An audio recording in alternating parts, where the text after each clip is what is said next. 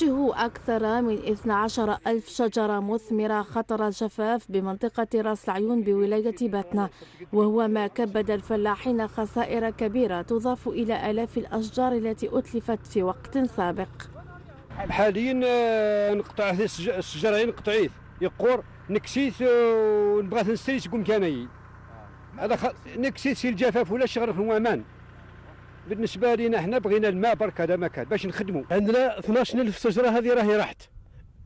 من بين 28000 12 هذه خلاص. بقات الأخرى راهي زايدة في الانقراض رايحة تروح. رايحة تروح.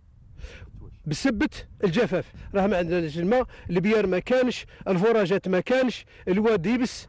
وفي الوقت الذي يؤكد المتضررون أن الحل الوحيد لهذه الوضعية هو حفر أبار ارتوازية تربط بالبساتين من أجل إعادة الحياة لآلاف الأشجار المثمرة.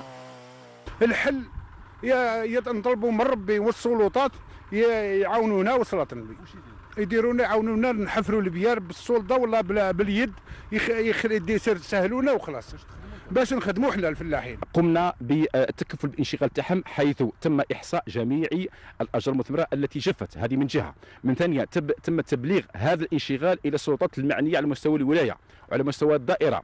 وكذلك تم في في بعض الأحيان هناك بعض الأمراض التي ترافق جفاف الأشجار. تم التبليغ مع وقايه النباتات باش تكفلهم من ناحية من ناحية معالجة الأشجار التي لم تجف إلى الساعة. يذكر أن هذه البساتين كانت تنتج ما لا يقل عن 2000 طن من مادة المشمش خلال السنوات الماضية. اليوم خطر الاندثار نهائياً.